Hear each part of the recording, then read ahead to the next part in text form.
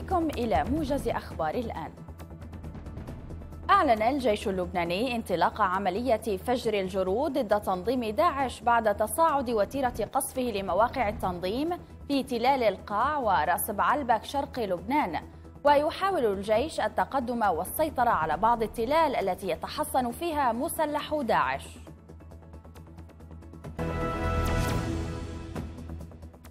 أعلن جيش أحرار العشائر التابع للجيش السوري الحر عن إطلاقه لسلسلة عمليات رد الكرامة في بادية السويداء بالقرب من الحدود السورية الأردنية.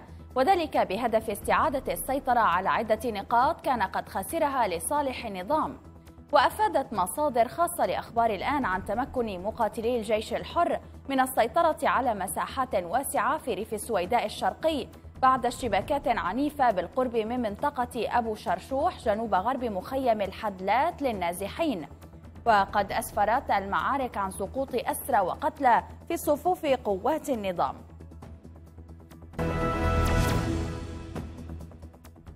أفادت مصادر محلية من قضاء تل عفر في العراق بقيام تنظيم داعش بإزالة كل ما يشير إلى مراكزه القيادية بعد توالي الضربات الجوية للتحالف الدولي واقتراب انطلاق العمليات العسكرية.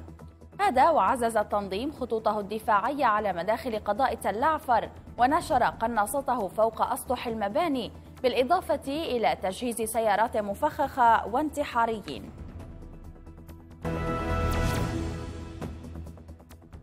قالت الشرطة الإسبانية أنها تعرفت إلى هويات جثث ثلاثة مغاربة قتلتهم بعد الاعتداء الإرهابي الذي ضرب ليلة الخميس الجمعة منطقة كامبريلس في شمال شرق إسبانيا. وقالت الشرطة إن المغاربة الثلاثة هم موسى أوكبير وسعيد علاء ومحمد هشامي وجميعهم من سكان منطقة ريبول.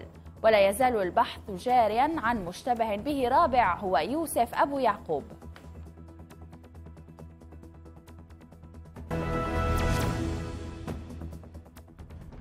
أمر خادم الحرمين الشريفين الملك سلمان بن عبد العزيز بتخصيص غرفة عمليات خاصة بطاقم سعودي تتولى شؤون القطريين تحت إشراف الشيخ عبد الله بن علي آل ثاني في ظل قطع العلاقات حسب تغريدات نشرها الأخير على حسابه في موقع تويتر. وشكر عبد الله آل ثاني الملك سلمان على استقباله وقبول وساطته.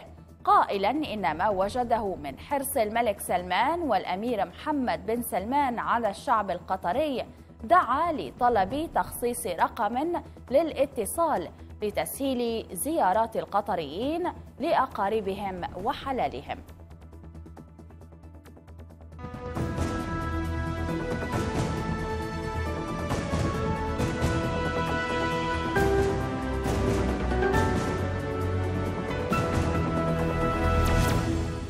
نهاية الموجز.